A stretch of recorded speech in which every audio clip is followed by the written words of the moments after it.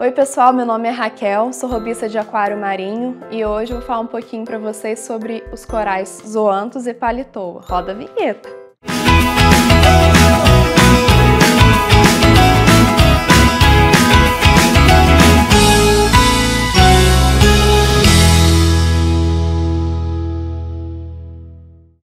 Então, pessoal, os corais zoantos e palitoas são os corais preferidos dos iniciantes. Por quê?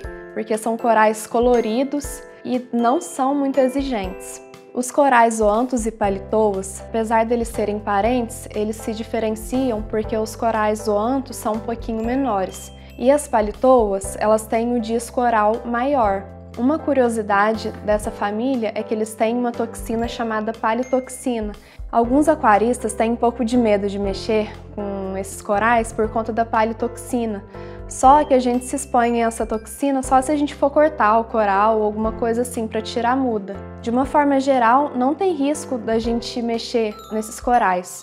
E se você tiver medo de tirar muda cortando coral, é só você colocar uma basezinha de coral ou alguma pedrinha, um, um pedaço de rocha embaixo de algum pólipo que esteja saindo já da sua mudinha, que aí o pólipo meio que cria uma pelezinha e migra para essa nova mídia. Ou pedacinho de rocha ou basezinha para coral, o que seja, até mesmo o substrato vai tomando.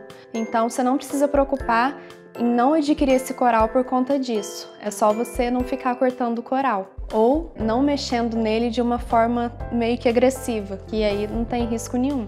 Se você quiser tirar uma muda cortando o coral, é só respeitar o pezinho dele e usar máscara, é, luva e óculos de proteção, porque se por um acaso secretar alguma toxina, né, no caso a palitoxina, é, você vai estar seguro. O pessoal fala que é um coral muito fácil e que cresce muito rápido, só que não é bem assim. Cada coral tem a sua peculiaridade. Tem vários nomes, cada cor geralmente tem nome diferente, e quando se diz que o coral é mais raro, geralmente é porque ele demora para crescer. Muitos aquaristas falam que esses corais eles se adaptam a qualquer altura do aquário, só que não é bem assim. Se você colocar ele muito próximo da luz, às vezes ele pode dar uma sentidinha e até queimar. E se você colocar no substrato numa luminosidade muito fraca, pode ser que ele fique pescoçudo, que a gente fala, né? Então, assim, vale você pesquisar o tipo de paletó isolantes que você adquiriu e se atentando aos detalhes para você fazer ele crescer de uma forma saudável e que ele fique sempre bem colorido. Como exemplo, fica a Palitoa Pandora, que é um coral que cresce muito rápido. Então, geralmente a boquinha dele é muito barata. Então, esse você pode comprar uma, duas boquinhas que ele toma rocha, base muito rapidinho. Tem, por exemplo, a Palitoa Magis... Mag... Tem, por exemplo, também a Palitoa Magincian, que ela é mais rara. Ela é rara sim, porque o crescimento dela é mais devagar. Então, se você ficar comparando os corais, né, você vai observar que cada um realmente tem o seu ritmo. Tá muito em... Como é que eu vou falar isso? Em moda, não? Pode cortar essa parte? Tá em alta os jardins de Zoanthus e Palitoa, né? O pessoal compra várias mudinhas, coloca uma do ladinho da outra e fica igual um jardinzinho.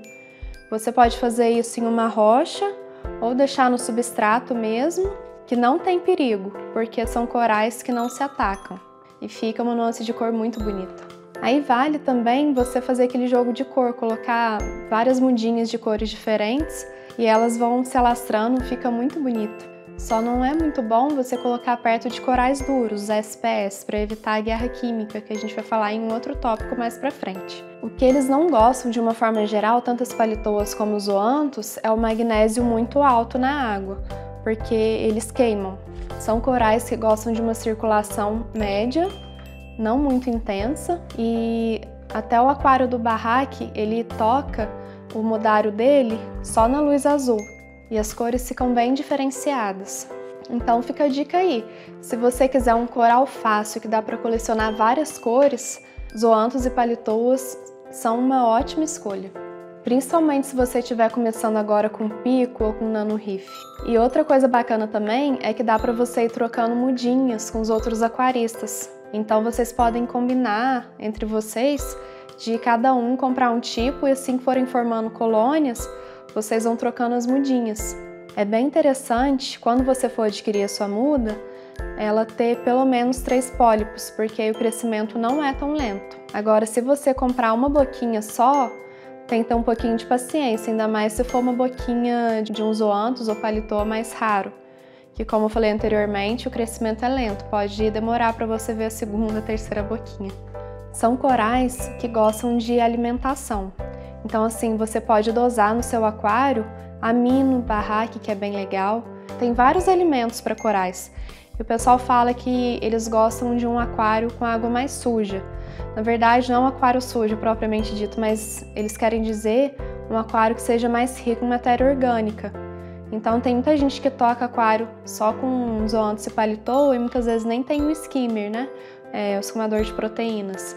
A palitoa, como ela tem um disco oral maior, se você observar quando você for alimentar os peixes, se cair uma raçãozinha na, na boquinha da palitoa, ela se fecha e já consegue se alimentar. Os zoanthus, como ele tem a boca menorzinha, é, eu ainda não consegui ver ele fazendo isso.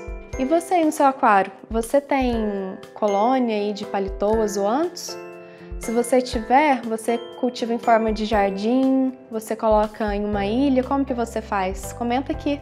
Vai rolar agora uma listinha de zoanthus e palitoas para você dar uma pesquisada depois, para você ter um referencial também, poder procurar em lojas, na internet, para você planejar no seu jardim, beleza? Então é isso, pessoal. Curte aí, se não se inscreveu, se inscreve, segue a gente e deixe seu joinha, não esquece. Valeu!